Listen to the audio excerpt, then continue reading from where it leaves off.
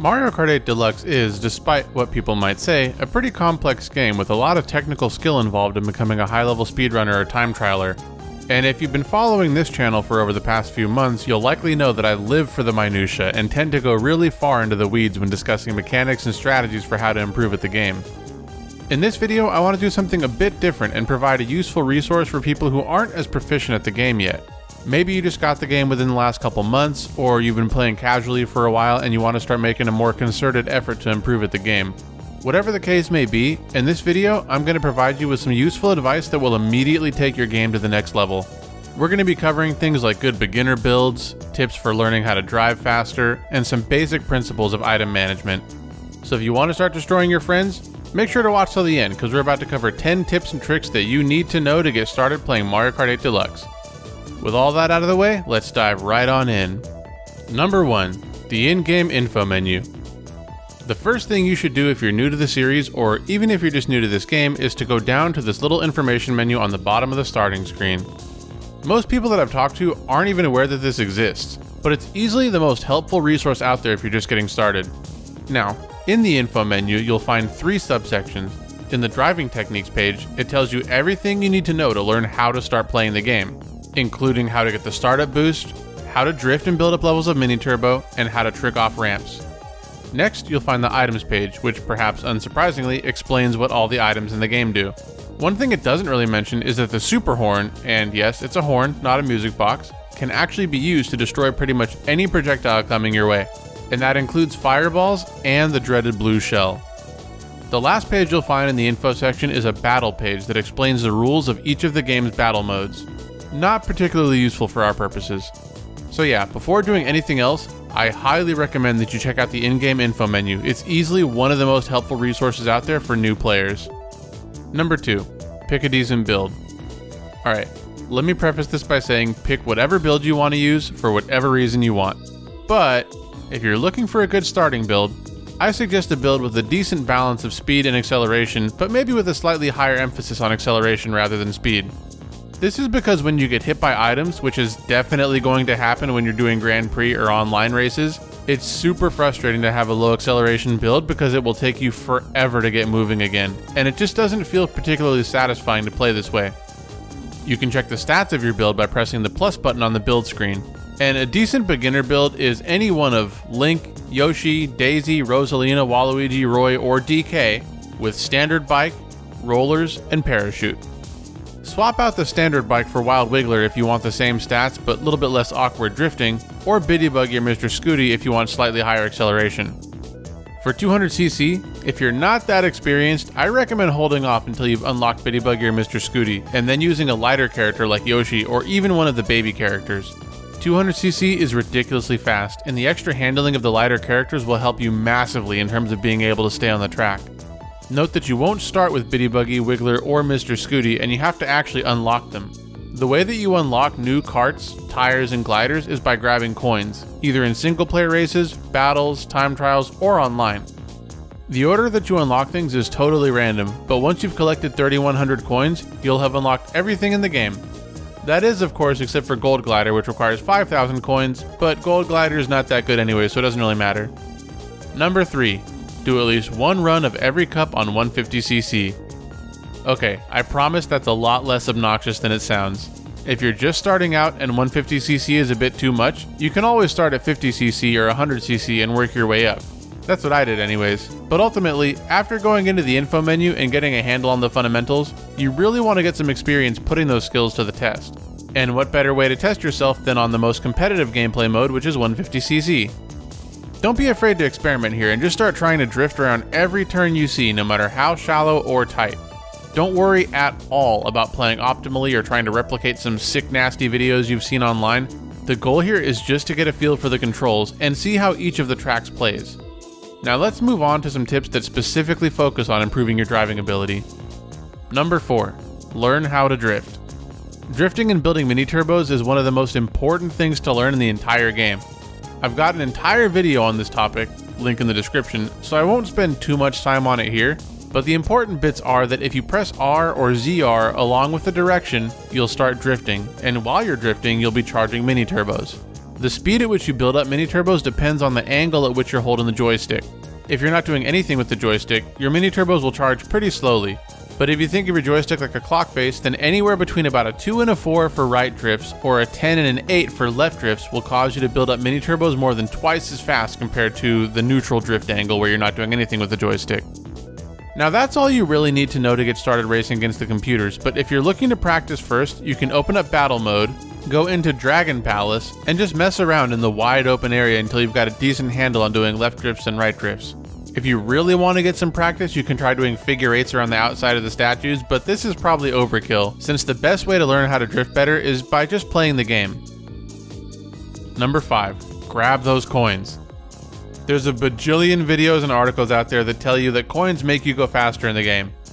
I mean, I've even got a whole video dedicated to the topic myself, again link in the description. Long story short, each coin you get increases your speed by half a percent, and you can hold a maximum of 10 coins for a total of a 5% increase in speed. This might not sound like much, but considering that most tracks take about 2 minutes or so to finish on 150cc, you're going to be saving yourself 6 to 8 seconds on average over the course of a full race, which really is a huge difference. Coins come from three sources. First, every track in the game has a way to get coins on the track itself.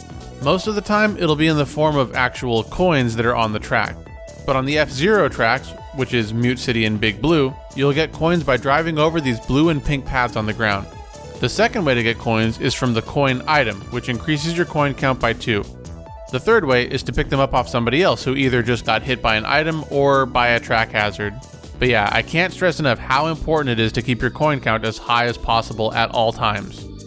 Number 6 take turns as tightly as you can.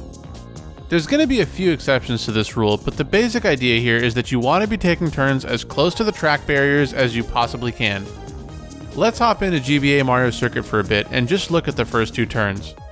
We're going to put two replays side by side, the left side taking wide lines and the right side taking tight lines. You can see that by the time we've made it to the orange boost ramp, we've saved more than a full second on just the first two turns without doing anything super advanced. Most of the time, just knowing that you want to take tight lines is enough to figure out how to play most of the tracks at least decently well. After figuring out how to drift, this one principle is probably the single most important thing to focus on if you're trying to improve at the game. Number 7. Learn how to manage your items properly. Item management is one of the most complex topics in the entire game, and I could never hope to do it justice in a video like this, but if you're just starting out, the main idea is to focus on playing defensively. Trust me, it's exponentially harder to claw your way out of the middle of the pack than it is to just not get there in the first place. So what do I mean by playing defensively, and how can you get better at playing defensively? First, note that green shells, red shells, bananas, and bombs can all be dragged behind your cart by holding down the item button. If an opponent throws something like a green shell or a red shell at you and it hits your defensive item while you're dragging it behind you, it'll destroy your item but leave you unscathed. Note that for bombs, you actually need to drop it by releasing the item button just before you get hit. Otherwise, the blast radius of the bomb will also hit you, causing you to spin out. Now you generally want to make sure to have at least one of the defensive items I listed above in one of your two item slots as often as possible. So how do you do this? Well, it's important to point out that if you're in first place and you've only got a coin, then 9 times out of 10, you do not want to use it right away. This is because the game is programmed in such a way that you're not supposed to be able to have two coins at the same time in online races. So if you've got a coin, just hold on to it until you grab your next item box and you'll be more or less guaranteed to get a defensive item. So to quickly summarize my beginner friendly item management tips, always try to have at least one defensive item on hand. If you're in first, do this by not using up any coins you might have until you've already picked up another item. And if you're not in first, it should happen more or less automatically. Then, drag your defensive items behind you to protect yourself from enemy projectiles. Like I said, item management is way more complicated than that, and I'm going to make an entire video dedicated to the topic at some point in the near future. But the main idea here is to try not to be overly aggressive with your items because you will get wrecked. Number 9. Do the time trials. Okay, full disclosure. I absolutely love time trialing. In fact, I actually prefer it to racing against other people. There's almost something meditative about grinding out a single track over and over again to try and eke out every last tenth of a second you possibly can. That being said, I'm fully aware of the fact that the vast majority of people cannot stand time trialing. and that's totally fine. But even though I've left this tip until really late in the video, if you ask me, the single most effective way to improve at the game is through time trials. The reason is that the better you get at each individual track, the better you'll get at the game overall. I definitely understand that running a track by yourself over and over again might not be the most appealing thing in the world to a lot of you, but that's why I recommend keeping things interesting by setting goals for yourself. You can start off by racing against the staff ghosts on each course, and at a bare minimum, I suggest practicing each course until you can beat its respective staff ghost consistently.